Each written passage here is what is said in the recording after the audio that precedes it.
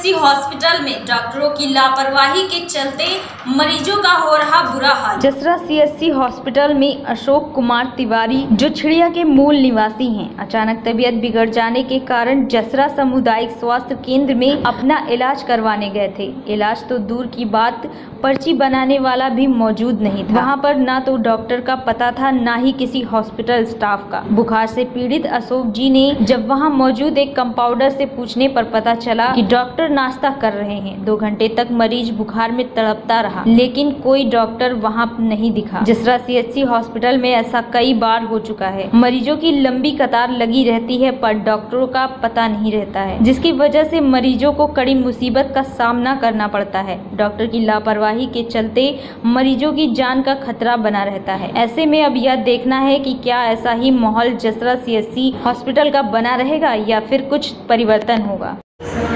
बोलिए। यहाँ क्यों लेटे हैं आप?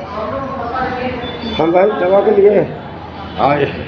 हम्म, दवा लेने पर पर्ची बनाने वाला एक किलोमीटर दूर हमारे चढ़ी बुखार पर्ची बनाने वाले को ढूंढते ढूंढते थक उसके बाद कैसे मिला वो तो पर्ची बना उसके बाद डॉक्टर साहब के पास गए तो वो सब बढ़िया पिकनिक मना रहे हैं लंच कर रहे हैं बढ़िया सेब मौसमी सब खा रहे हैं। पब्लिक पे कोई ध्यान नहीं। फ़ोन चेक करे आए कहीं बैठिए। पहले ये सब पैसा जमा कर दिए इनका हो जाएगा तब तुम्हारा होगा। हमारे पास पैसा है नहीं। अगर हमारे पास पैसा नहीं तो, तो मतलब कि कोई गरीब आदमी आए तो वो मर जाए। हाँ? यही मतलब हुआ। तो ये कहाँ से हुआ? सबका साथ सबका विकास। हमको अभी हम भारतीय जनता पार्टी के ही जो सेक्टर संयोजक है उमापुर सेक्टर से। उसके साथ साथ हमको जो है फिर 2022 भी लेना है। और दो हज़ार चौबीस के लिए भी चॉइस है। लेकिन ये लोग ऐसे बदतमीजी करेंगे तो कैसे हम तो दो हज़ार बाईस से दो हज़ार चौबीस हम लेंगे। बताइए।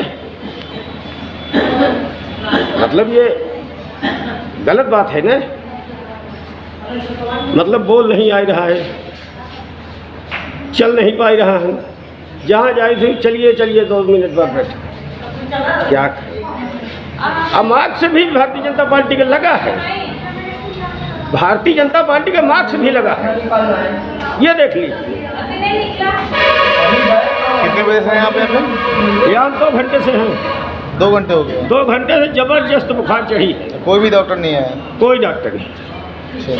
पैरासीटामॉल पहले से ले रहे हैं। पैरासीटामॉल खा के किसी ढंग से समय बिताए जहाँ क्या करें? जय जय बंगाली के यहाँ दवा लेंगे। ठीक।